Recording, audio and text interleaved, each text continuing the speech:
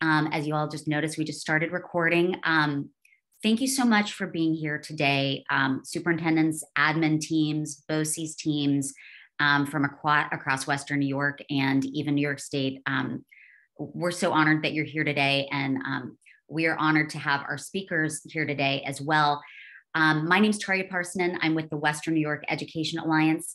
And we I'm here representing the Western New York Literacy Initiative, which is a collaboration of 17 organizations, including Mayor Brown in the city of Buffalo, Villa Maria College. I'm going to go through them because I really do have to honor these organizations that are that are behind this. The Buffalo Police Athletic League, Dyslexia Allies of Western New York, Dyslexia Services of Western New York, the Ed Trust New York, Literacy Buffalo Niagara, Monkey See Monkey Do Children's Bookstore, the New York State Network for Youth Success and the After School Network of Western New York, Neuhaus Education Center with our speaker Tracy White Weeden here, uh, the Reading League with Maria Murray is here speaking, Read to Succeed Buffalo, Say Yes Buffalo, Teach My Kids to Read, we the parents of Western New York, Western New York Education Alliance, and the Western New York Literacy Collaborative. So this is really people dealing with literacy in every aspect, whether it's students, adult literacy, families, parents, uh, you name it, um, after school programs, um, pre-K programs. Um, they're they're touching kids in in the literacy sense and in every way. And the mission really is to increase awareness about the science of reading and to facilitate partnerships between local schools and education organizations that support evidence-based reading instruction. So thank you all for being here. Um, I'm going to stop sharing my screen right now.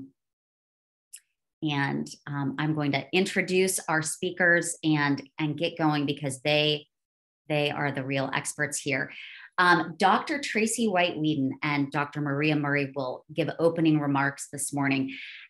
Dr. Tracy White Weeden is the president and CEO of Neuhaus Education Center. She is a seasoned leader dedicated to advancing literary, literacy success for all and academic excellence for children. She brings 28 years of experience to a calling of shaping dynamic systems change so that children are well prepared for the realities of a 21st century knowledge economy.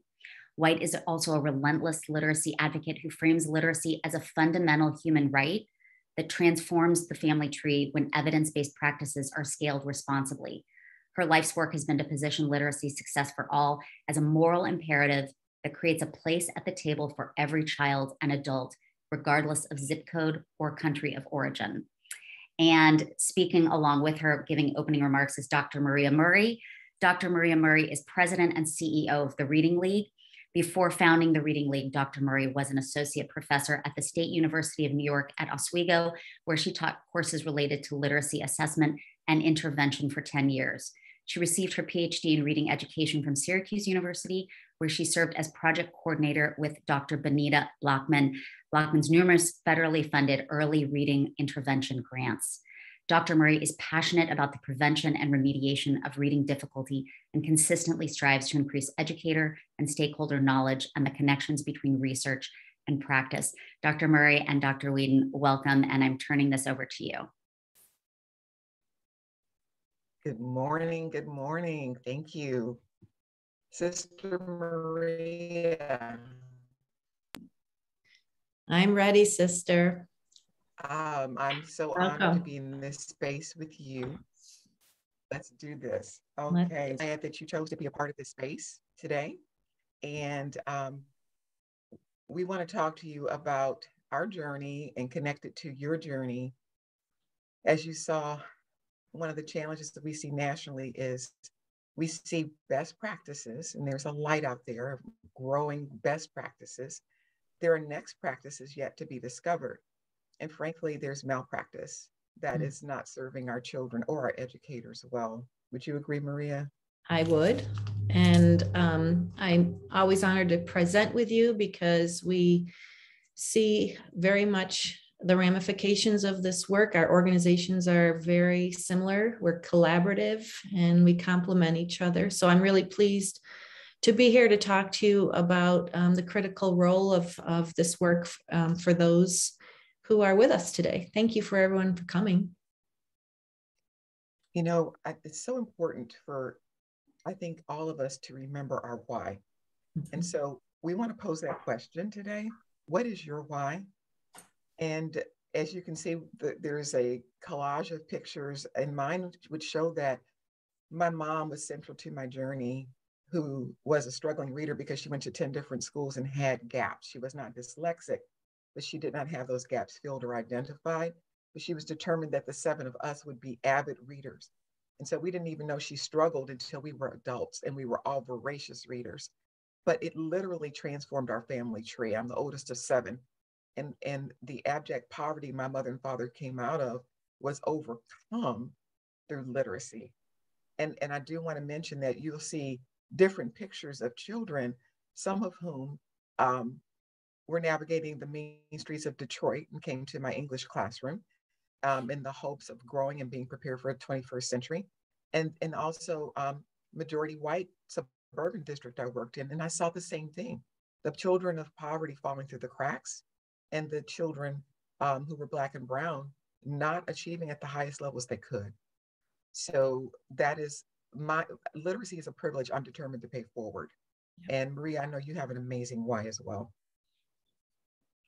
Yes, um, I changed my pictures just this morning to add in the three that are in the bottom. My why centers around um, coming from a history of being an educator, but not knowing about why my students could not read at, at, at a secondary level. And Dr. Blachman is pictured in the two top right pictures where I learned from her how to prevent and remediate difficulties. And I learned to train teachers and I watched them turn the science of reading into the art of teaching. And, but all through these wonderful experiences, I saw it fizzle away. So I'm no longer content with providing professional development that is one and done that doesn't lead to true, long lasting, sustainable, um, different cultures of um, understanding the importance, the urgency, and the promise of all children learning to read as best as they can, and teachers knowing how to do their art and their work. So the last three pictures down at the bottom really highlight my why and drive me every single day you can see this video when stars read um, on YouTube. I took screenshots this morning. And uh, after we had taught these children to read in this study and followed them for a decade, they were the children in the book Overcoming Dyslexia with the Yale Dyslexia Center. But I got to spend a summer with these families, and these children ran away from home. They got hives, they threw up, they got bullied, and uh, learning to read was or not learning to read actually was torture. So um, it, it's not something that ends as soon as the school bus drops kids off at the end of the day. It continues. It impacts the family. It impacts everybody in that home this child's soul. So i just keep these kids and the kids that still exist like them today in my heart and in my work at the forefront this is my why so thank you for listening to that. And I'm sure everyone could say the same. That's beautiful, Maria. Thank you. It, it was such an honor to participate in the defining movement, Maria, and to be invited to the table by you. Everyone needs to know about this from you as well. Yeah.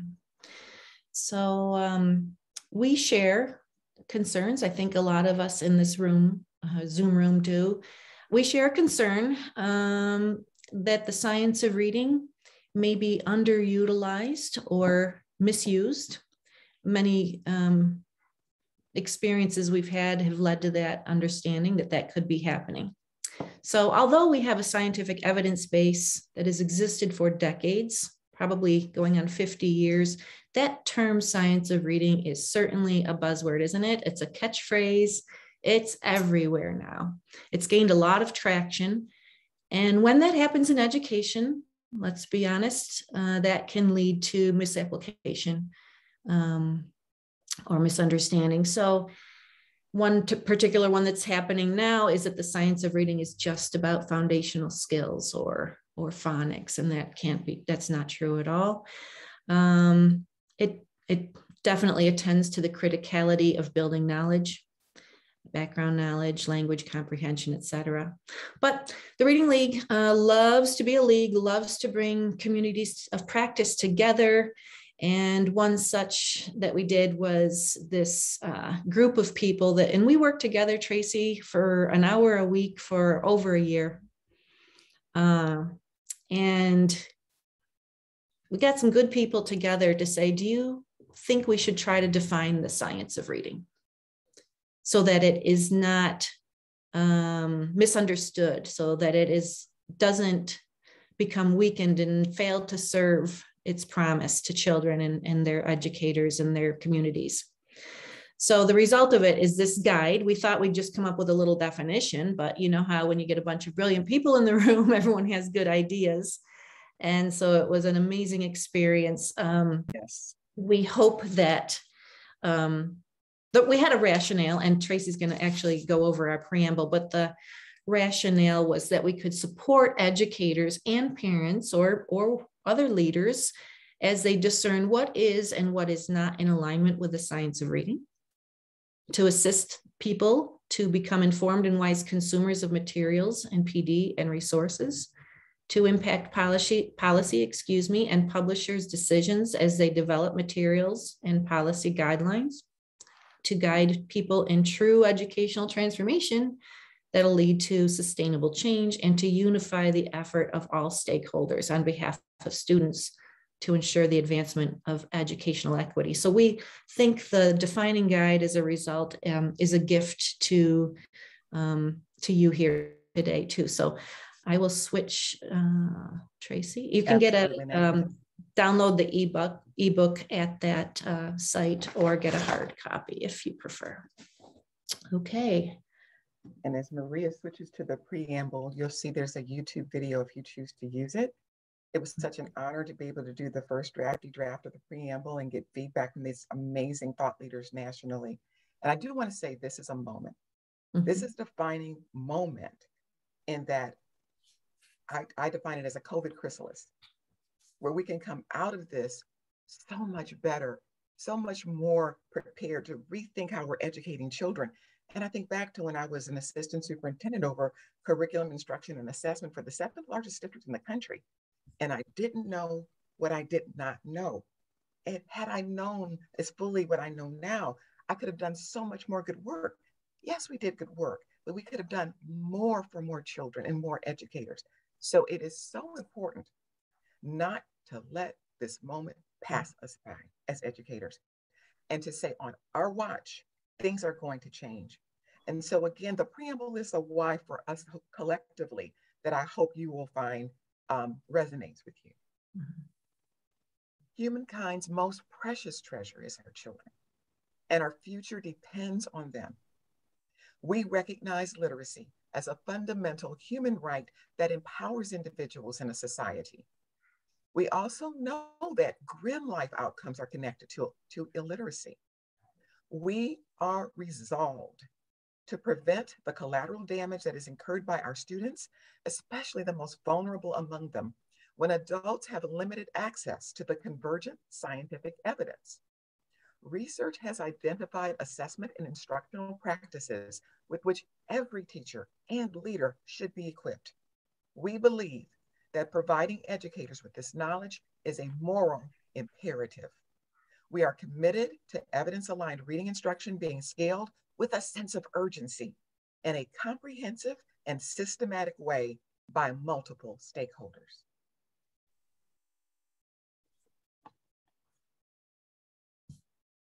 And as we wrap up, I know we only have 10 minutes, Maria, and we probably are just a bit over that. Yep. This is our chrysalis moment. Mm-hmm. We are each leading organizations and people. Leading means influencing so that people want to follow with us. And we exist to build that educator knowledge and decision making knowledge as organizations. Neuhaus Education Center, combining with our, sister organization, the Reading League. It's through knowledge that we can begin and sustain these practices in a way that's truly transformational. And it requires something that I've learned in working with superintendents and state departments nationally. It's how you're leveraging time, talent, and funding. And it's being willing to strategically abandon what's not working well for educators and working well for children. We have to create the space for the new. And if we're doing a hundred things and they're all a priority, then nothing's a priority. Right. Literacy should be the priority. Educator knowledge, first and foremost, is how I want to end this. That's all, mm-hmm. period. Educator knowledge, and that includes educators at all levels. Without the practitioner knowing the things they have to know, no matter what tools we put in front of them to use, won't have that same impact we need it to have. So thank you. I, I hope we're not too over. Out of the gate. Thank you.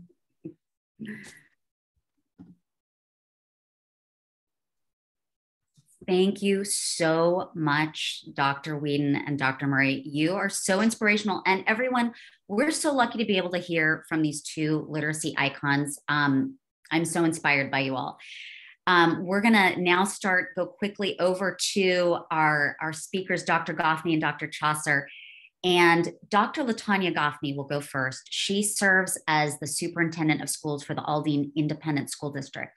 And since taking the helm in July 2018, Dr. Goffney has dedicated herself to nearly 62,000 students and more than 9,300 employees of the district, as well as the entire Aldine community. She has increased student achievement in every district she's served, including Aldine ISD, by focusing on early childhood education, literacy, targeted professional development for teachers, and collaboration across the community, including developing business and school partnerships, parent engagement, and increased communication.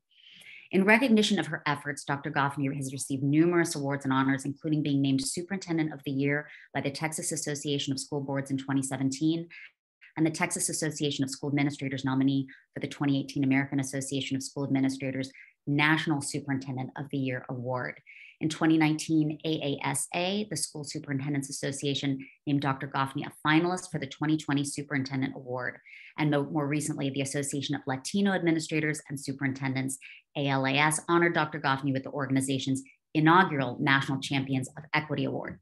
She's a native of Cold Spring, Texas. Dr. Goffney is a Sam Houston State University graduate.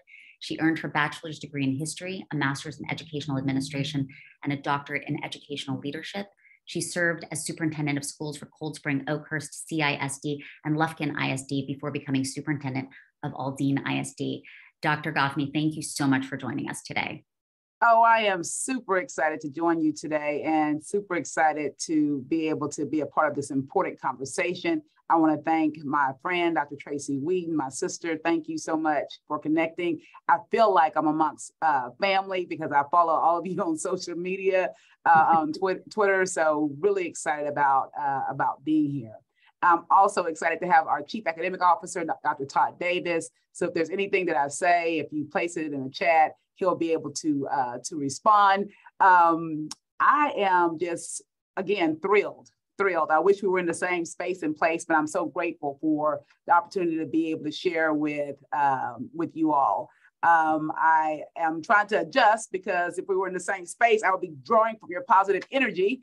Um, I have a saying that says "iron sharpens iron," and though uh, although we are virtual, I hope we're able to sharpen, sharpen each other. Um, I am just a country girl, contrary to all of that that she just read. Just read. I am uh, Latanya Goffney. Uh, I'm the 15th. I'm in my 15th year as superintendent in Texas, and I wonder, can y'all hear my accent? Can you hear it? I always love to visit New York because you all sound like you have an accent. I know that um, I probably sound like I have one as well. But um, I, as she alluded to, I have served in three different school districts, but I'm the proud superintendent now of Aldine ISD. And before you go searching, there is no Aldine, Texas. We are located in Houston, Texas. And so if you've ever flown into Bush Intercontinental Airport, um, you were in the middle, you were in the middle of Aldine. Uh, we're 111 square miles of opportunity. Uh, we have uh, 83 campuses, just opened our 84th. As she uh, stated, pre-COVID, we were at 67,000 students, and now we're trending um, nearly 62, 63,000. So um, I tell you about our demographics not because uh, we make an excuse for them, but I want to make sure you understand the context. Nine out of 10 of our students are considered economically disadvantaged. They qualify for free or reduced lunch, and 85% of them qualify for free lunch. And so uh, it's just important for you to know that. We are, uh, we have 42% English language learners, 74% of our students are Hispanic, while 22% are African American. We have over 46 languages that are spoken you know, a lot of times when people hear about our de- demographics, they sometimes have a certain mindset about our students in our district. And I'm going to tell you today that we're so much more than our demographics. Uh, we don't ignore the reality that our students may face more challenges outside of school than most students. However, we commit ourselves to ensure that school is where the magic happens and that high quality support they receive in schools is, is the catalyst for a lifelong empowerment.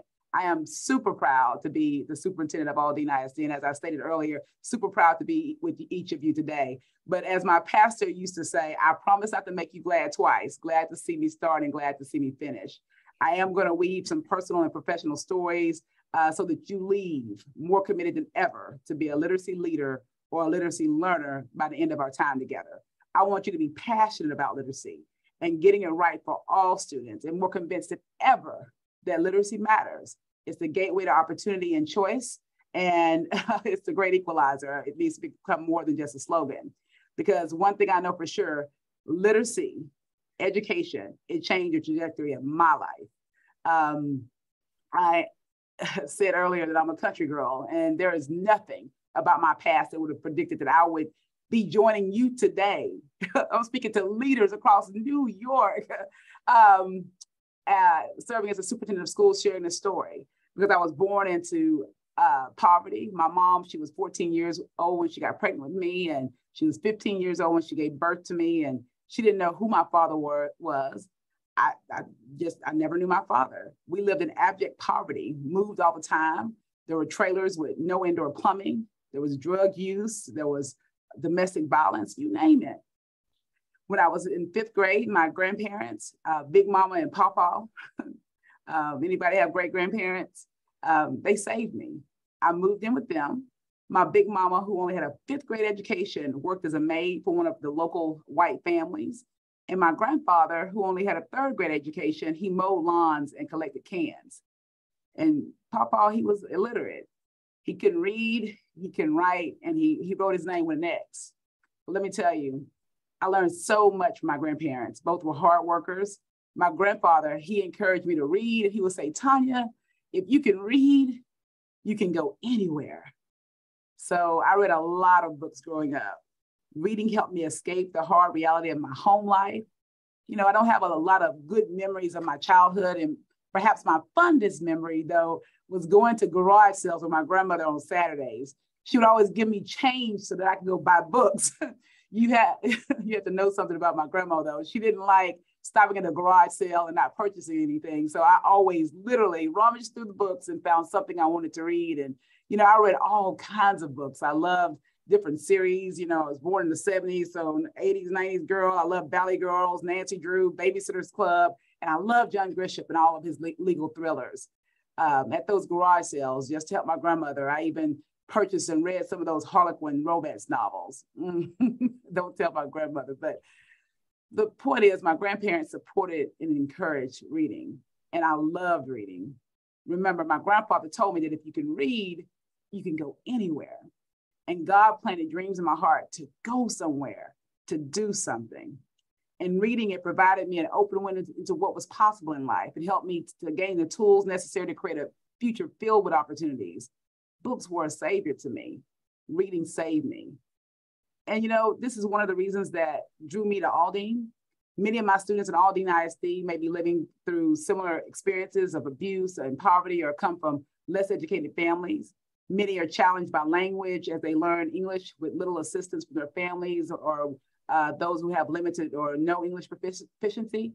As I said earlier, 90% of our students qualify for free or reduced lunch, which is considered a, a measure of low income status. The child was me. A love for reading is what saved me, bolstered me from the trauma children in poverty typically experience, and provided some of my best memories. Reading lifted me up. It provided a gateway that led me to become the first in my family to graduate from college and eventually attain a doctoral degree. it provided me so many different opportunities. And think about if teachers had not come into my life and taught me to read, I would not have been able to move beyond the confines of my childhood environment.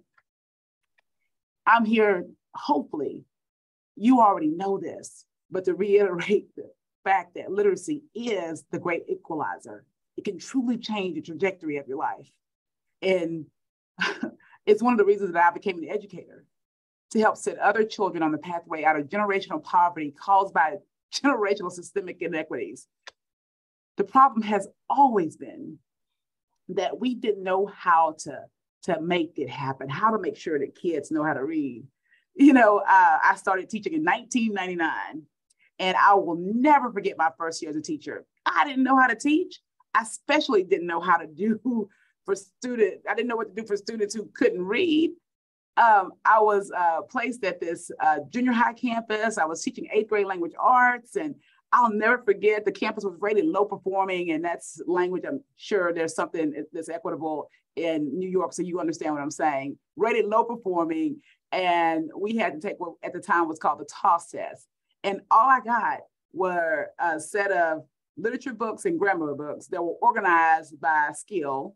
Uh, the department chair and I worked together to create this calendar that focused on a skill week. We focused mostly on the skills that they had not done well on in seventh grade, inferences and generalization, summary, main idea, and author's purpose. We had TAAS worksheets, we had TAAS workbooks.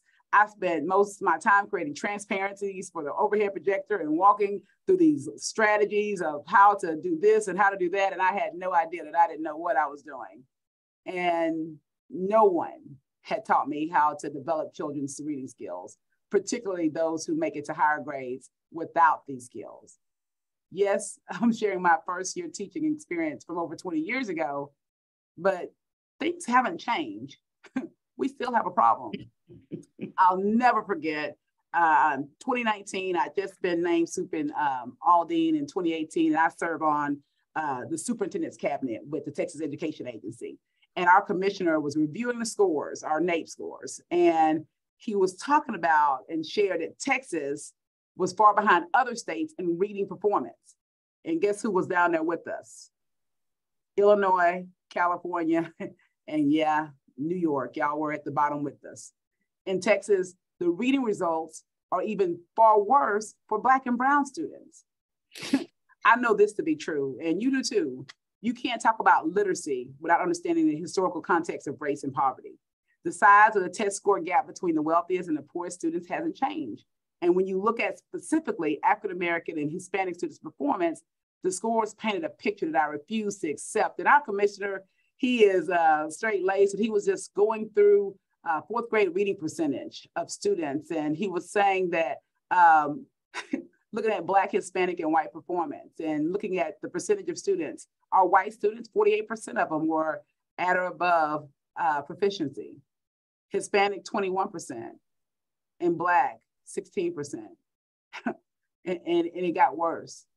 When you looked at eighth grade reading proficiency at or above, white students were at 59%, Hispanic 19, and Black 11%. Now, believe it or not, I'm normally quiet at these meetings. I'm typically um, in a corner or, you know, multitasking or uh, something, but he was going over this information. I, I, my colleagues, we were quiet, like, you know, okay. But I, I couldn't remain quiet. I raised my hand and I asked a rhetorical question. I said, are Black, Brown, and students of poverty inherently inferior? If not, then when are we going to stop talking about it and do something about it? You know, of course, I was very respectful to our Commissioner of Education, but I definitely got his attention and that of my colleagues from across the state. You know, sometimes we have to call it what it is low expectations for Black, Brown, and students of poverty.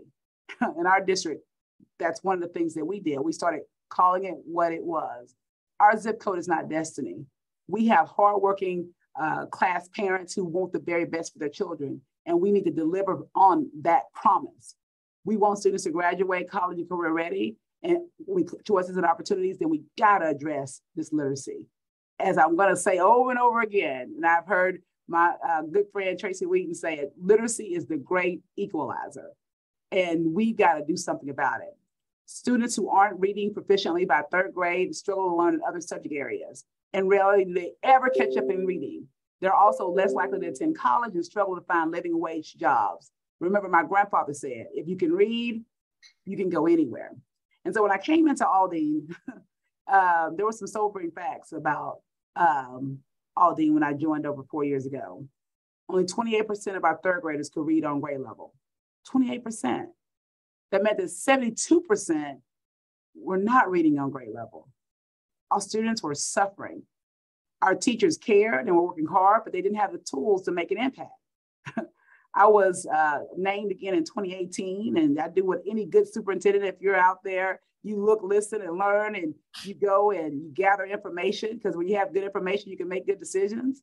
Um, I was blessed the semester before I arrived, there had been a curriculum audit. and um, if I can keep it real for a few minutes, and I can call it like it was. And I have, um, again, my CEO who's been in the district a long time. And so he knows it was the truth. We were a cult for balanced literacy in Aldine. Like literally, we hosted the conference, whatever um, one of the celebrities would come into Texas. We actually hosted in Aldine. And everyone loved the balanced literacy approach. It was popular. But listen, I'm the new Sue. The data told the story it wasn't effective for Aldine ISD students. Um, when you think about it, I'll never forget we were looking and having conversations. The STAAR test was the only time many of our students even saw grade level text. Think about that. If you were an eighth grade student, you didn't see eighth grade level text until the test. And if you were a fourth grade student, you didn't see fourth grade level text until the day of the test. Trained leaders shared that teachers weren't the only ones frustrated, that students were getting frustrated. And the thing that was an aha for me, we were in a, a meeting and we were talking about the importance of exposing our students to grade level text. However, um, we had a, a leader in the district who said if we show fourth graders fourth grade level text in this district, they'll become frustrated. Frustrated. She meant it. So we had these leveled readers, and we come up with leveled readers lead to leveled lives. And I'm not here to argue it. I know there are people who know uh, literacy much more better than I do, but I'm telling you what I know and what I saw and the beliefs that people had about what Black, Brown, and poor students should be able to have access to. And I also remember my grandfather. And I remember the fact that we had students who were graduating who can't read. Imagine that level of frustration. And so um, we halted our t- textbook adoption. In Texas, we have textbook adoptions in 2019 was our year. And we, ne- I knew then, and it was um, stated in the curriculum audit that we needed to abandon the approach to literacy to help solidify and to make sure, because again, we were a huge cult for um, balanced literacy that wasn't working in our district. And so we did a program evaluation, partnered with another university, uh, and they told us that we need to abandon the approach. Again, the data told the story. It wasn't working, even though teachers loved it. Um, and so we needed to pause uh, to learn about the problem. We didn't select a text. We wanted something that was right for our students, and we needed to improve student outcomes.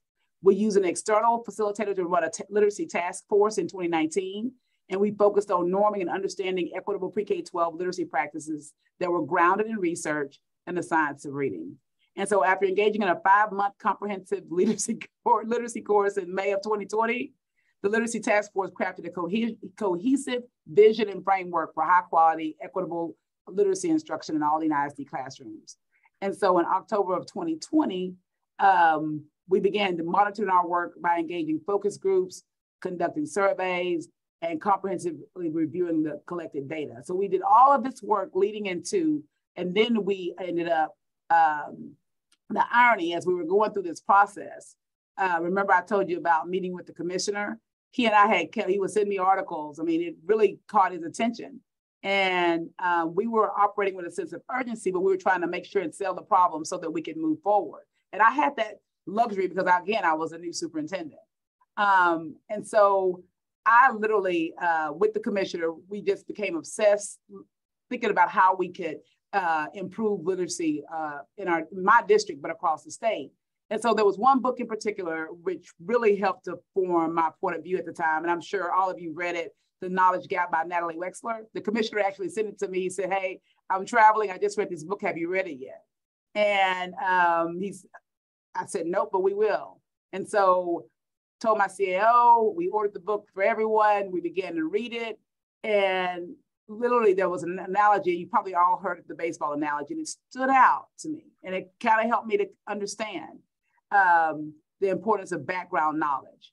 And um, I'm so proud that as we were going through this process and creating our vision and framework, uh, we focused on building knowledge, foundational skills, complex texts, and writing. All those skills are important in Aldine ISD. So our vision and framework are grounded in research-based literacy practices, and these practices are proven through the science of teaching reading. And we went through the process, and um, I was so proud that we selected high quality instructional materials. See, we had gone through, and I don't know how you do it in New York, but if they took you out to dinner or they sent you a uh, some type of, of, of cup or something, or the neighbor had that curriculum, that's how we were making curriculum decisions. We came up with a co cohesive way that had to line up with our vision and framework in order for us to adopt the high quality materials that would be put in front of our students. And we shifted, we shifted our approach from balanced literacy to structured literacy to build background knowledge and strengthen our foundational reading skills. Um, it was important that we implement with fidelity. And let me tell you, leaders, and all of you are literacy leaders, it's about leadership. It's not just about the teachers in the classroom, it became about leadership. Literally, I was the head literacy, and oh, I consider myself the head cheerleader for the district.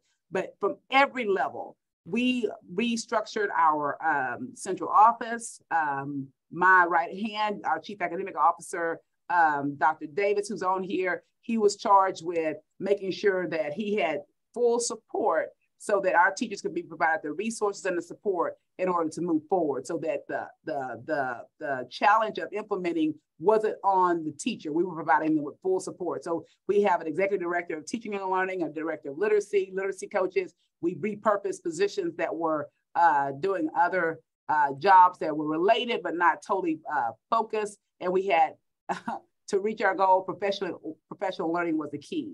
We had monthly collective learning. Our campus and district leaders um, even during COVID, came together for learning sessions every month. They focus on continuous improvement in the implementation of literacy curriculum materials and the realization of our literacy vision and framework. We have quarterly literacy advisory meetings and we meet with the literacy coaches and I attend those meetings. Our chief academic officer attends those meetings so that we can understand what are the challenges and how are we moving forward. Uh, in February of 2022, and we'll host again In 2023, we hosted our second annual Literacy Matters Conference with thousands of educators and leaders from across the country. It's now the largest free literacy conference in the United States with attendees from across the world. Our work here has also helped to inform the work across our state. Um, you know, we're really excited about um, how we're making a difference in the conversations and how we're addressing the inequities that existed pre-pandemic, but also the learning loss that is, existed post-pandemic um, can we say post pandemic yet? um, it's so important. It's so important that our students are now being taught about subjects they find exciting and engaging. They're, they're being drawn into lessons and stories. Um, listen, uh, when I go into classrooms in middle schools prior to uh, our new approach, our students didn't have um, they didn't have novels. Remember, I told you I went to garage sales. My grandmother bought me novels and different things, things like of that nature. We didn't have novels. They had those level books. And so an eighth grader may be reading a book on a sixth or uh, fifth or fourth grade level. All of our schools are on the same curriculum. And so it, it every time I go on campus, middle school starting this year on Bud Not Buddy. And then um, I remember uh, they were reading Midsummer Night's Dream, and uh, it was so powerful to see them reading Shakespeare in Aldine a district that's predominantly Black, Brown, and students of poverty, and seeing our students deeply engaged in these relatable books that are on grade level. listen, you know, it, it, it, it, it, I think about my own beginning skills, limited skills as a teacher and all that, those skill and drill. And so certainly engaging in text, this beats those drill captions, finding the main idea and all of those different things. Our students are deeply engaged in reading. And you know, the irony is that more affluent districts have taught the gifted students and just the regular students this way for years. But we're equalizing education by offering the same thing to our students. You know, the past few years have been challenging to say the least. Um, there are quite a few things that have had our attention. COVID, um, but I'm so proud that we didn't allow COVID to become the new excuse for uh, mediocrity or low expectations. There have been racial issues, disparities, mental health. There have been all kinds of things in Texas, and I'm sure in New York as well, that have could have really we could have focused 100% of our time on. But we recognize and we hold true to the fact that we are committed to our literacy framework, and we're not going to let anything, not COVID, not anything, stand away from us moving forward. So we've navigated through the pandemic, and the curriculum has served us tremendously well during this, these tremendous times. Um, we have you have to have the courage, and that's so important. And of course, you have to trust the process. And so, but when you see your, your teachers and your staff sharing these engaging le- uh, lessons and uh, making sure that our students get the literacy education that they deserve. You know, I love this James Baldwin quote. It says that not everything that's faced can be changed, but nothing can be changed until it's faced. In response to meeting the needs of students in the aftermath of the pandemic, I've heard it said that we needed leadership guided by science. But in response to this literacy crisis, I would echo those same words. We need leadership guided by the science of teaching reading. Our journey in literacy hasn't been easy. It's required hard work um, and it's required the, the support of everyone in our organization. And again, it goes back to leadership. It goes back to leadership.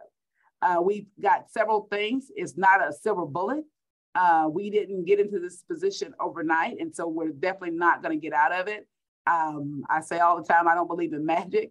I believe in people. Um, and so, but it's so important that you celebrate the small wins.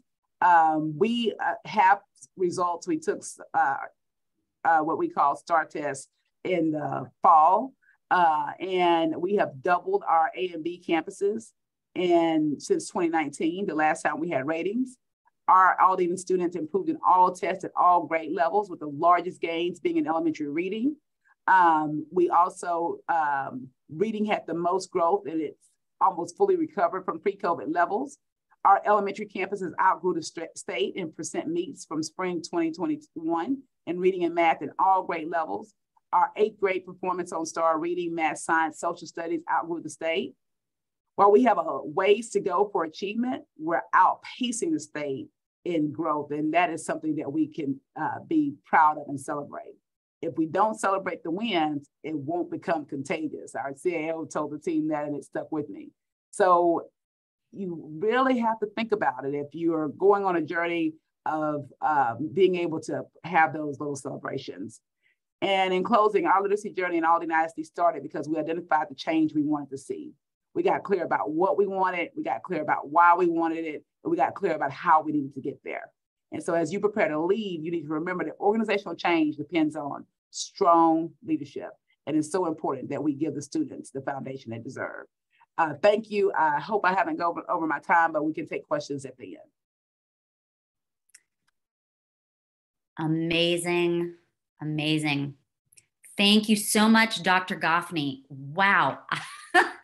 I've taken a couple of notes here. I want to thank you so much for, as you said, keeping it real.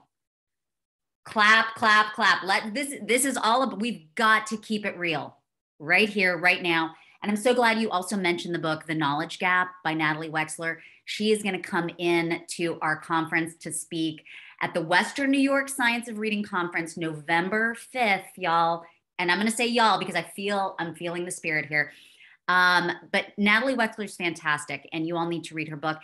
And the Aldine, the Literacy Matters uh, conference that Aldine puts on was the first literacy conference that I attended, and it was amazing. Thank you so much. I will be attending again, and I encourage everyone to to also attend. It's fantastic. Um, thank you so much, Dr. Goffney. And we will be doing a Q&A period uh, at the very end when everyone's done.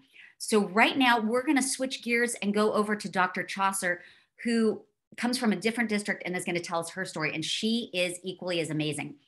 Dr. Kathleen Chaucer holds a bachelor's degree in communication disorders and sciences from the State University of New York at Geneseo and a master's degree in literacy from the University of Albany. She completed her doctorate of education at the Sage College in 2013. Kathleen has worked as a speech therapist, a first grade teacher, and assistant principal, and has served as the proud principal. Oops, hang on. as a proud principal of, wait, hang on. I was reading my screen and then it just went away. Um, Oh, proud principal of Milton Terrace Elementary School in Ballston Spa, New York since 2009. And she wants to mention that although she believes all schools are outstanding, she is lucky to work in the best school on the planet. I love that because we all feel our schools are the best, right? Kathleen also teaches as an adjunct professor for SUNY Plattsburgh Educational Leadership Program. Kathleen shared that she was hired by Ballston Spa as a first grade teacher in 2002 because of her extensive knowledge in balanced literacy and was promoted to assistant principal in 2005 for the same reason. It was not until a new superintendent, Mr. Ken Slentz, joined her district in 2018 that her understanding of the best way to teach all students to read changed. This understanding has changed the entire way that she and her teachers do their work, and she's excited to share this story with us today. Kathleen lives in downtown Saratoga Springs, New York, with her 15 year old son, Sam, and her golden doodles, Olive and Theodore. Kathleen was excited to speak with us today because, interestingly, she was born and raised in Western New York, where she graduated from Ten Broeck Academy. I hope I'm pronouncing that right, in Franklinville. Welcome, Dr. Chaucer. Thank you so much. Can you hear me okay? Yes. Okay, thank you so much for that introduction. Um, I'm so honored to present alongside Dr. Goffney. I too attended the Aldine conference and um, heard uh, Dr. Weeden speak, and I also was at the defining moment with Dr. Murray, and I have my um, guide right here. So it's really pretty amazing. Um, one thing I will say to the participants today, um, as you go on this journey, your edu heroes change, and the fact that I am uh, presenting alongside these edu heroes. Yay, Dr. Goffney. Just uh, really, uh, you know, is, is um, surprising to me and thrilling, and I'll probably uh, pinch myself later. But in any event, thank you so much. So um, like I said, I, I do, um, I'm so excited about this journey and, and, to get to share it with you. Some of my uh, information that I'll share may be uh, similar to Dr. Goffney. So in that case, I'll just skip those slides. So, um,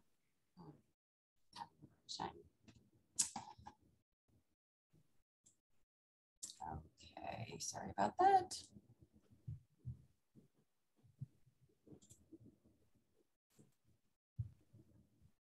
Okay, so um, our can you still hear me, Tarja? Yeah. Okay, so um, today I was asked to share uh, why we decided on science aligned curriculum, how we implemented it, and then advice that we would have to leaders and districts as they're going on this journey, very similar to Dr. Goffney. Um, as I said in the intro, we are so excited with the results we're seeing. We've completely changed our way of doing business, and we're really excited to talk this through. Um, so uh, as um, Dr. Weeden and Dr. Murray and Dr. Goffney talked about, really the background um, on the way that we teach students to read is really what is um, defining this, this movement. Um, interestingly, I think to folks not in education and also to maybe even secondary educators, the idea that the way that we teach students to read is controversial or is a hot topic is almost bizarre, right? If you're not in education, the idea that people can get very excited about the way that we teach kids to read is, is um, interesting and, and folks don't understand that. So I just put up a graphic here just to kind of share um, some of the differences. And, and for those of you who are balanced literacy districts, um, you know, there's a, a saying in our, our uh, group, you know, when you, once you know better, you do better. And so, you know, we're really having to repeat that to ourselves over and over again. You know, when I, I got the job as principal, you know, I've, I've got these wonderful teachers and we would sit around the child study table and just look at student data at their levels. And, and, you know, I just couldn't figure it out. I mean, we've got this positive building and these hardworking teachers and we're all working so hard, but why are we not moving that needle? So um, like I said, once you know better, you do do better. So just to share a little bit, um, and I know this previous speakers have spoken about this, but reading instruction really is having a moment. You know, Karen Vaites of the Curriculum Matters group, she says, you know, curriculum is having a moment and it's really uh, reaching mainstream media. So you can see here that, you know, the New York Times had a, a um, leading article about um, Lucy Calkins. Um, even this, um, the most recent um, article or edition of Time Magazine is having has a great article about the massive effort to change the way that kids are uh, taught to read, and um, recent research on uh, reading recovery has also um, surfaced. Um, additionally, this happened in 2021, and this was really interesting to me because my brother is a principal in Fairfax County. Um, but they, uh, the NAACP uh, Fairfax County sent the superintendent a letter really demanding that the children in that district uh, get access to high quality curriculum materials.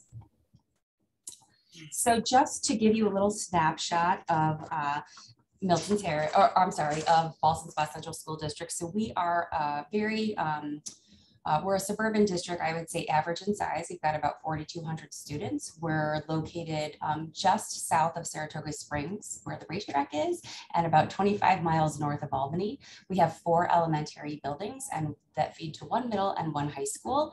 Um, you can see our breakdown of um, the rest of our student population. And um, because the state assessments have changed over the years, um, we don't have a consistent score, but when uh, Mr. Slentz came to the district, we were right about 40% proficient, I would say, on our ELA assessments. So this is our timeline of how we kind of developed um, the decision to move to the science of reading uh, as a curriculum. So when I arrived in the district in 2002, I was hired because we were a balanced, balanced literacy district I had shared. Um, and then in 2018, Mr. Slentz joined us and really um, our teachers had identified curriculum alignment as their focus area. So they were really asking for some um, consistency among um, what everyone was teaching. So uh, Mr. um, did a lot of work. He established an ELA committee that was going to learn about the science of reading and then make a selection. And um, then in 2019, 2020, that was our first year of implementation, which was going well until March when our schools all shut down, of course. So we have continued to really rely on this um, strong curriculum that we have selected. So this is just one of the um, um, guiding documents that we used for our ELA committee, we had our rationale. Our district's um, mission is that every student receives a meaningful diploma and are able to read and write on or above grade level. Here were the goals that we set for our uh, curriculum adoption um, committee and then an overview of the process. So um, similar to Aldine, we did a lot of work with building a common foundation of knowledge and understanding of the science of the way that kids learn to read. So this was a blueprint that Mr. Slentz put together that we used as our guiding document on um, understanding uh, how kids learn to read and also what we all agree on. So similarly to Aldine, we've got, you know, we start with the science, we determine where our readers are, build a strong foundation, and then on and on. And it really, it cites the um, research here as well. So our ELA committee read all this research and then of course went on to make a selection based on this common understanding. So our committee um, used EdReports and Louisiana Believes, which are non-biased vetting sites and um, obviously aligned to the New York State standards and um, aligned to the blueprint that we all agreed on to make our decisions. Um, we looked at four um, curriculum materials. So we looked at EL education, wit and wisdom, core knowledge, and bookworms. Um, we had all of the different representatives of the group um, review all of the curriculum resources that we had um, talked about. And we um, were hoping, interestingly, a few of us were hoping that the teachers would pick wit and wisdom because it was aligned to foundations which we were already using in a few schools. Um, but interestingly, our teachers selected bookworms. So they made a um, pitch to the superintendent. They gave him their reasons at the ELA committee, and he we went with bookworms. And so um, we're really excited about that decision, and we've seen some really great results. So bookworms is um, uh, authored by Dr. Sharon Walpole out of the University of Delaware. She's a researcher who um, was a balanced literacy um, guru like so many of us and really felt obligated to write this curriculum because of what she learned in her research. So there is a free version of Bookworms online and through open source. Um, there are three 45 minute blocks and um, it's really um, rich with authentic texts. It's knowledge building, and as I said, research researcher developed. Um, in the knowledge gap, at the end of the knowledge gap, Natalie Wexler talks about knowledge building curriculums and ones that we should really be on the lookout for, and she does identify bookworms as one of her recommended um, curriculum materials. So this is just a whole view of what we um, use to teach in Ballston Spa. So we use Bookworms K5, and then we use um, Foundations and Heggerty, which are phonemic awareness and fun, um, phonological awareness um, programs for K1. And then we use Geodes to supplement. Those are decodable readers. We assess three times a year and um, use iReady and DIBELS as our assess main assessment tools. So this is our district's um, kind of guiding document in terms of the role that everybody plays in making sure that every student reads at or above grade level through explicit instruction. And this is um, all of the ways that we do that. So it really um, started with explicitly trained principals. So um, Mr. Slentz felt that it was important that we carry the water. And so he had us trained first. So as soon as we selected bookworms, um, the leadership team flew out to Atlanta and we were trained directly from Dr. Walpole and her team. And that was really helpful because then I was able to come back to my building and share my excitement and my enthusiasm. When we were there, we got to hear Tim Shanahan speak, Dr. Walpole, and it was really just a really significant um, learning experience for us and also helped to kind of get that ball rolling with that excitement that Dr. Goffney talked about. So as I said, the principals were trained first. Um, we um, bookworms was the least expensive of the four choices, but we did purchase everything that went with it. Like Dr. Goffney said, she she um, hired someone to make sure that there were no barriers for teachers, and that's really what we felt as well. Like we didn't want teachers to be able to say, "Gosh, we didn't have this," or "It'd be helpful if you had purchased this part of the program." So we bought everything. Um, we paid every teacher to come in over the summer, and we did some summer unpacking PD days where we showed them what all the stuff was, talked them through that curriculum and um, you know, had some modeling done. The district committed to implementing new literacy coaches. So those coaches come into the classrooms and model and support teachers.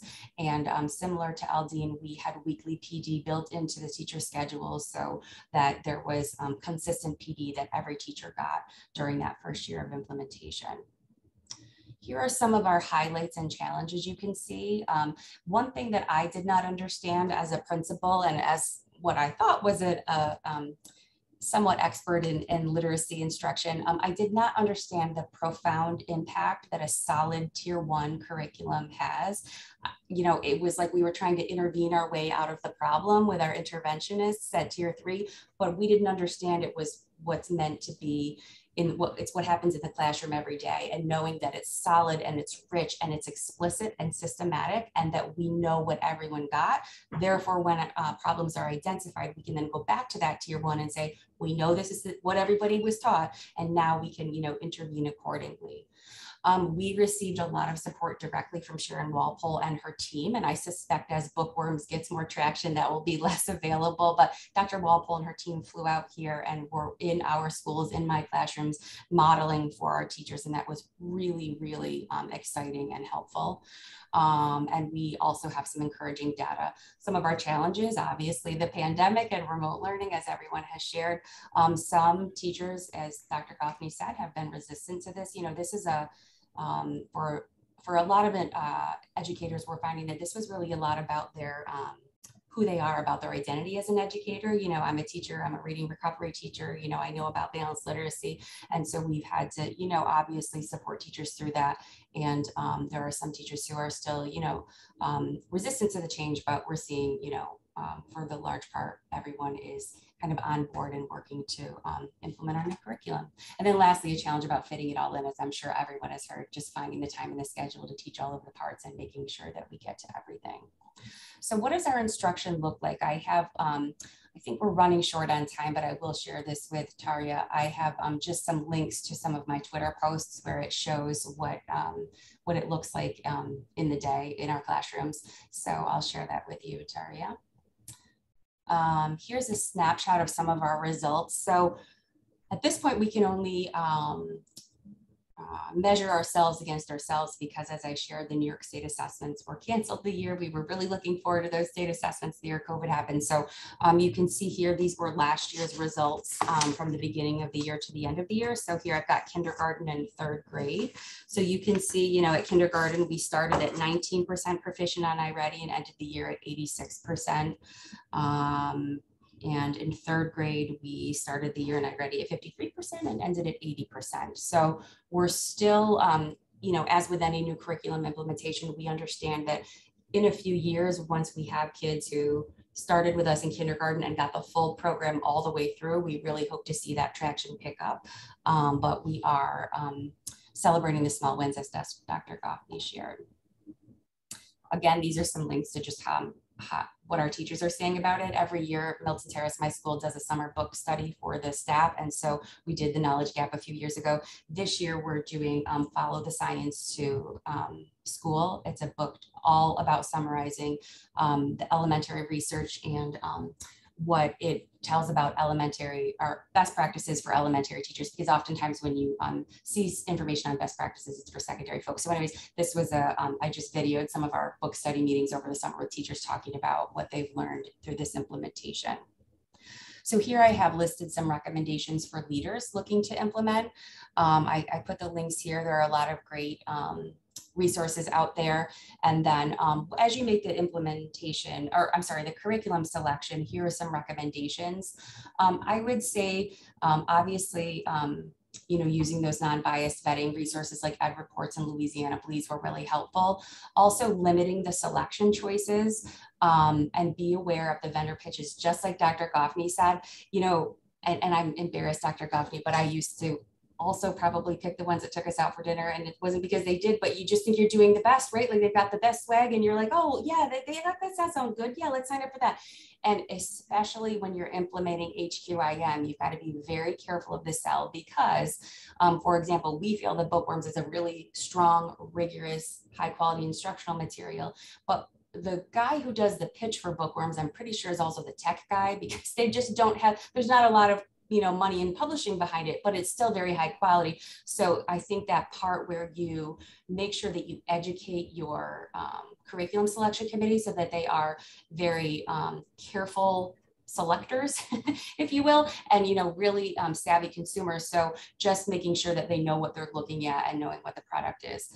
Um, and then obviously linking those district um, structures back you know with the district goals back to the implementation is great here are some things that I learned just as a leader um, throughout the process. Um, literacy instruction really is a social justice issue. I did not understand that until we were um, on our way, but access to these high quality curriculum materials is something that every child deserves. Um, Kareem Weaver, um, who is also speaking at the um, Western New York um, uh, conference in November, he, um, on one of the podcasts I listened to, he said, um, leaders, you need your team to follow you through this. The ability to convince people to move when they don't have to, to get them to suspend their beliefs and to try something new for the furtherance of a goal. The sell, that's your job. And I really feel like it is on us as building leaders and district leaders to make sure that people understand this information and to get our teams on board with this. Um, I didn't understand why culture mattered until we did this. I have a very positive school environment, and I was very fortunate that when we had to, I had to get them to do this, right? I had to get them to suspend their belief and and leave what they knew. Um, the fact that they came with me, that was very helpful, and I think having that positive culture was very helpful. Um, this is teaching rocket, I'm sorry, teaching reading is rocket science, and most universities are not arming their teachers with this information. Um, at least here, our local universities are still, for the most part, balanced literacy and teaching their students that information so they're not coming to the to us with this. And i know there's a whole other conversation to be had about you know sec, um, the role of secondary education in this this work but um, until that happens it's our job as leaders to make sure that teachers have this information um, I teach an adjunct class at a local university on assessment, and I do this whole like boot camp little thing before we get started, just to you know give them this information that's out there because I just feel obligated to share this, and it's just shocking that no one knows it, right? Even still, no one knows this information. So I really do think it is our job to be teaching that. Um, one of the things that we learned when we were in Atlanta being trained, one of the um, teachers from Atlanta said, give your teachers grace. This is hard. They you know, as our superintendent used to say, our teachers used to be experts and now they're novices. And we have to respect that and support them through that experience. You know, teachers who've been teaching for 20, 30 years are basically being told you have this whole new thing we want you to do. Be respectful of that and be supportive and, and you know, support them through that. And then my last thing is that I just cannot unsee it. I feel like I can't even appreciate a good meme or a good joke because I'm like, actually, that's not correct. You know, learning styles are, are actually debunked, you know. So I just, I think that, you know, as you go through this process, you'll realize how much misinformation is out there and really what our job is to make sure that the correct information is out there. And just for a closing thought, as Dr. Goffney shared, it really is our job to make sure that um, the adults around us are aware of the benefits of structured literacy because ultimately it is our greatest defense against illiteracy. And that's it. Wow. Thank you so much, Dr. Chaucer. Uh, you know, several things that you said really struck me. Um, and I'll start with culture really does matter. You know, and I want to applaud all of you for, you know, educators across Western New York, leaders across Western New York. You are here learning new things and investing in that culture. And so I applaud you. And and also, Dr. Chaucer, you were talking about uh, the role of higher education to teacher training programs, things like that. And absolutely, everyone is a partner in this literacy journey and they are a key, they play a key role um, and we need them on board. Um, one of our new partners in the western new york literacy initiative is villa maria college which hats off to them. You know the president understood immediately the implications of what we were saying and the science of reading and everything going on. And you know we need other institutions of higher education to also get on board. Um, but thank you so much dr goffney and dr chaucer um, we are going to do a, uh, a Q&A. So everyone, the chat is available to you. If you want to submit a question, it will go straight to our speakers. Um, and uh, we will try to take a couple of questions. And in the meantime, I did receive a couple of questions beforehand that I will start us off with until we get some questions in the chat. And this is interesting. Someone wrote in, it's been reported that even with new materials, six in 10 teachers continue to use their old materials or debunked methods. And how do we prevent this from happening? So, uh, Dr. Goffney, if you want to start us off, and then we'll go over to Dr. Chaucer. Yes, and I'm gonna, uh, the person's absolutely right. So our chief academic officer, he's gonna explain our learning walks and how we uh, mon monitor implementation. Thank you, Dr. Alfred. That, was that is a fantastic question. I think the, the first thing that I would lean on is making sure that there is a coherent expectation that's de developed throughout the district. Uh, I want to emphasize for us, it was the development of a literacy framework, vision and framework, that became the anchor that was then ultimately the decision, the, the coherent tool that made the decision to go with a, a, a high quality instructional materials, new curriculum, uh, a reality. And then from that point, you you need to have a, a, literacy leader like a superintendent like Dr. Goffney that is your champion in, in the district that makes literacy and the curriculum our new approach as a priority in all things that we do and leads every conversation with that uh, message being sent. From there, there, you know, the curriculum that you develop is a piece of the strategy. There are multiple uh, enabling conditions that need to be built out in order to make the curriculum an actual success and that it is becoming uh, integrated within your system and accepted by all of your teachers. One of those is making sure that you've got a strong professional learning strategy, you've got a strong strategy around collaborative uh, planning, uh, developing new tools for and protocols for planning, but then also having a monitoring system so that we can monitor the level of investment and, that our teachers have their needs if we see that there's a, a, variance in investment to where we've set our goals and then uh, of course monitoring on a frequent basis the implementation we set goals in our first year of 80% investment and 80% implementation and we did learning walks that were just targeted on those two uh, key metrics. And then we ramped that up to 90% our second year. And we're really pleased to, to see that we saw both marks were hit in both years. We met our goals. And I really want to ground that in the fact that we we held tight to our expectations, but then we knew that there was great responsibility to provide support for our teachers ongoing and and our leaders, of course. Uh, Dr. Chaucer, you are absolutely right. This starts with building leadership capacity. And uh, so with that, we continue to get feedback from our teachers, get feedback from our learners, because it, our implementation of the curriculum is ever evolving. And at this point, we need to make sure that we are continuing to serve the needs. But one thing that we don't waver on is our approach. You know, we have a coherent expectation for literacy instruction, but we will continue to get feedback and we'll continue to increase our level of support and do enhancements to, our, to the curriculum where we find it necessary based on feedback from leaders and teachers. Always staying, though, anchored in our vision and framework. Mm. Okay, thank you very interesting. Dr. Chaucer, do you want to um, answer about how you um, fight the fact that some teachers continue to use um, sort of the debunked methods? Sure. So I would I agree with everything um, Dr. Davis said. I would also add that we have um, um, intervention cycles built in. We have an intervention calendar. So we're meeting at the end of every six week cycle to review data and to um, make tweaks. So the director of curriculum content meets with each building principal and our interventionist team. We review the data and then we build in time in that schedule for them to then go back and, and speak with classroom teachers. So the data really is also telling the story. So I, you know, and I mean, you know, it's part of um, you know, it's a part of leadership that no one loves, but it's our job, right? So to have those hard conversations about, you know, this is not looking great and what can we do to fix it? And then to have those, um, as Dr. Davis said, to have those supports right there to, to help the, the teacher. So for example, we've got the literacy coaches, we've got, you know, that can come in and model and can, or can, you know, um, teach their class while they go and watch another teacher or something like that. And then also um, um, just providing that PD, PD opportunity,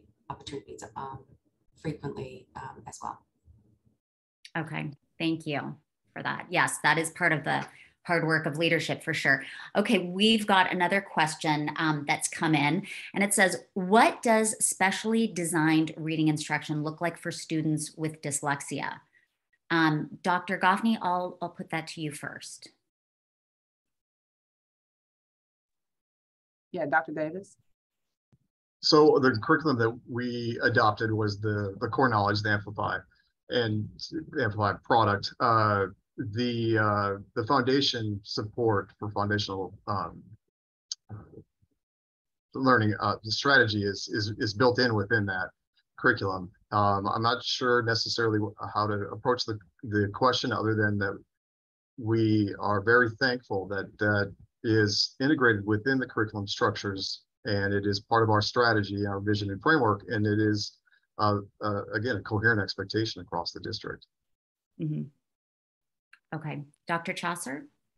So um, in every classroom, and I'm sure Dr. Uh, Murray or Dr. Weeden could correct me, but I'm pretty sure that in every classroom, there's about 30% of children who need explicit phonics instruction, but we don't know who that 30% are. So that's the thing. And, you know, I, I'm sure you've seen the graphic that shows, you know, um, phonics, you know, explicit phonics instruction and, and foundational skill work at an early age doesn't hurt anybody. But, you know, for those kids who need it and we don't know who those kids are, everybody benefits from it. Um, even for your higher students. And, and we were actually noticing that at our end of the year data, even our high kids who came in really high in first grade, getting that explicit instruction did not hurt them because just because they can read does not mean that they also can spell and know, you know, um, tricky vowel patterns and sophisticated things like that. So in any event, um, but back to that. So, so um, the thing uh, is that um, you want to get a, a, a, curriculum and HQIM that has solid foundational skills built into it. And then you're monitoring the progress all of the time so that you can then intervene. So I had showed the slide, and I'm sorry, I have it right here. It's um, the um, Dr. Walpole, we use her um, from Walpole and McKenna, their um, differentiated instruction. So it's her differentiation differentiated kit. It's the staircase of, of literacy learning. And so we're able to really identify the constrained skill and intervene based on that constrained skill and then, you know, monitor progress accordingly. Okay, great. Thank you. Um, all right, let's take another question that has come in. And for those um, of you, if you still want to submit a question in the chat, feel free to do so. Um, okay, can we just supplement the components missing from the balanced literacy program? Um, Dr. Goffney? In our district, no, it's a hard no for us. Um, our district, again, was the, the castle for balanced literacy, and that was one of the things wanting to take this part and take this apart. Um, I think uh, to what our my colleague Dr. Chaucer alluded to, explicit instruction for all is the way to go. Uh, we've heard from our uh, director of dyslexia. She was so excited when we changed our approach. Um, we are um, trending with fewer students qualifying for dyslexia because we're providing that um, strong foundation in the classroom. And so um, I'm a, in my district, in my leadership, it's a hard no for us. And so we are um, staying true to um, the science of teaching reading and um, and we, we're seeing the gains. And so, and it also, I think it's a mindset. And this is Latanyism. So um, for those who believe strongly, I think it's a mindset and belief on what kids can and cannot do. And um, I, so it's Dr. Davis, you'll clean it up for me, but yeah, it's a hard no for me. It's a hard no, but I think the the I, I, like to say that the cornerstone of our literacy framework is is the building knowledge component of the curriculum, and I cannot imagine supplementing the units of study to the extent that you could truly say that you have a knowledge building curriculum. The the lift is too significant. The way to articulate that um, so that you see connections from uh, grade level over grade level. So students are progressing through a system where the knowledge is building upon each other. I can't imagine that to be done with fidelity. Um, and then in addition, as we've said, the, ex the explicit instruction for every student is a necessity. We tried to supplement Lucy Calkins with a foundational, with foundation curriculum. It did not work. And it still left too much autonomy to our teachers and how they determined what good foundational learning looked like and instruction looked like. We needed to have a systemic uh, approach to that that left no opportunity for teachers to dilute or lower expectations for our students and the quality of, of learning for our students. So uh, as Dr. Goffney said, no, it's a hard no. And I just want to throw in while I have an opportunity for those of you who may be concerned about the teachers that might divert from this or might have difficulty gravitating to it, just stick to the process. And once they start seeing the transformation of the conversations, the discourse, the level of vocabulary that your students are using in the classroom, there it's it's hard for them to go back to previous practice. The the wins become contagious and uh, if you can just stick to the plan and look towards playing a long game, not quick fixes, then your teachers will see the wins and will gravitate to the to the curriculum and the science of reading. Yes, thank you. I have a feeling Dr. Chaucer is going to agree with you on that. Dr. Chaucer? Just quickly, one more thing about the question on dyslexia. Um, Emily Hanford is a reporter, and I'm sure most of you know who she is. She is, you know, world renowned for her work, um, and her work really coincided with both um, Aldine and Ballston's positive limitations in a perfect time because if you haven't heard those um, podcasts, they're, they're brilliant. But in any event, she actually well, she and Natalie Wexler, they're just, I don't mean just journalists, but they're not educators. And so they went out, Emily Hanford went out looking to find why um, dyslexic students were not being taught to read in our elementary schools. And then she found out that all kids were not being, were not learning to read as they should. So I think that um, good instruction for, for all students are is good instruction for dyslexic students and then you're able if you're you know assessing regularly and able to really pinpoint areas of need. I just wanted to have said that. Um, and then the other thing is you know my superintendent uh, former superintendent would always say you know it's not that balanced literacy is horrible or bad. It's just that we have a finite amount of time with our students every day and every year. And how do you want to spend that time? You know, teachers are my teachers during their planning time, at least I can speak to mine. They used to spend it hunting and gathering, searching teachers, paid teachers, trying to put things together and make up lessons. And that's not really fair. You know, my superintendent would say, okay, how many people in the audience have a degree in curriculum writing? Right? None of us, because that's not our job. so to ask you to create and deliver high quality instruction is not fair. As leaders, it's our job to provide teachers with high quality curriculum, and then their planning time is spent preparing to deliver it. And that's really a change that really um, kind of shifts and, and helps. And teachers feel glad to have it given to them. You know, they, you know, I have a, a kindergarten teacher who's been teaching 33 years, and she says, I never have I mean, and she's just magical, right? She was magical before, she's magical now, but she just says, I have never in my all, you know, all of my years seen the growth I have, and it's just because I didn't know. Um, so how do you want your teachers to spend their time? And it's also as much about what you are not doing as what you are doing. So because that's all of our first reaction with a big change, right? Oh, I can just keep, oh yeah, that's basically what I'm doing. I'll just add this little thing. Actually on um, on Twitter, they call it the hashtag phonics patch to try and smack a band-aid on your existing program. And, and really it just doesn't work because it's it's about what you're not doing as well. And balanced literacy just is not that systematic, explicit, deliberate, consistent tier one that we need. Mm-hmm. Yes, well said. Um, okay, let's take one final question and then we will wrap it up so that we can be respectful of everyone's time. Um, okay, let's see. And you know what? I think you guys answered this, but I'll, I'll ask the question anyway. Do you use instructional support or outside coaches to support your teachers? And I, as I recall, I remember both of you saying that you do have coaching. Can you talk to that and how important it is uh, in support of your teachers? We'll start with Dr. Goffney. Uh, yes, we, um, and Dr. Davis, if you would um, make sure that it's cohesive, but basically we had internal coaches um, already in the district. So we were able to um, repurpose them and um, focus on how they were going to support our literacy launch. In addition, um, we also use some uh, external support. And so, um, Dr. Davis, will you connect all the dots for all the support that we provide? Uh, it was similar to Dr. Chaucer, which is when I was texting you in the background, like it's amazing how um, there's a way to provide support for teachers so they, they don't use the excuse that and and go back to the, the old way of doing things. Mm. Yeah, we we needed to we tar- target our literacy coaches. We had literacy coaches already that were were deeply rooted in balanced literacy.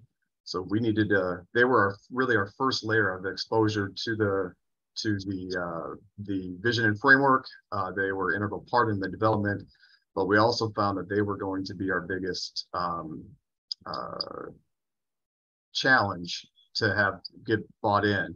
And uh, so we needed to make sure that we, number one, we focused on building their capacity, but then we also needed to say, if this is not a match for you, then there are districts that are still doing this old practice and you may need to go there because we are, like we said, there's, this is a hard no. And so we, we had about a 50% turnover in our coaches and it needed to happen because we could not have literacy leaders that were still going to be a barrier for us in the district. So that was one of our first layers. But then at that point, we, we developed a, a ongoing learning structure for them and then set up the understanding that the their direct impact is in the classroom every single day. And then we tried to create the channels uh, so that that that impact could be felt on a daily basis. We not only had them created district level coaches, but we had to create a, a campus level leader as well. And so that we had this waterfall effect where we supported our district coaches who then supported the, the campus instructional coach, who then had that uh, opportunity to get into a classroom every single day. While we're doing all of this, we're giving our assistant principals and our principals that same level of training and support so that there was at no point in our system was there a layer that we could feel like you, you're not informed or that you have, um, or because you're misinformed, you might be a barrier to the implementation of the curriculum. Mm-hmm. Okay, thank you. Dr. Chaucer, do you want to add anything to that? Sure, we too have um, instructional coaches and they have been very, very helpful. But I would just add equally as important as the coaches is the building principal's relationship with your teachers because um, once it gets moving and, and your teachers are jumping on board, I have found that my reading teachers have become unofficial coaches. So they are just, you know, our um, some of our colleagues say that we're like, you know, born again reading teachers because we're just so excited to share this good word. Um, we're just thrilled. And, you know, we, my, my teachers joke, they're like, you know, Dr. Walpole should give us a kickback because we can sell that stuff, you know, because there are, you know, people will just see us on Twitter and reach out and say, hey, like we, you know, talk with people around the country. And, but I always bring my reading teachers because they are the ones doing the work and who are just thrilled with the results and who are also um, supporting teachers in the classroom. Mm, good point. Yes, it, it really is about um, teachers having the training and the support and also leadership knowing as well. Um, and I also want to read a comment, if you haven't seen it in the chat, from Maria Murray at the Reading League. Um, consult the Reading League's curriculum evaluation guidelines to avoid those who have red flags of not being in alignment with the findings from Science of Reading. So that's a great point. Um, and I would encourage all of you, um, I mean, that will wrap up our question and answer period, but I would encourage all of you to feel free to reach out to Dr. Murray at the Reading League. They're an amazing resource.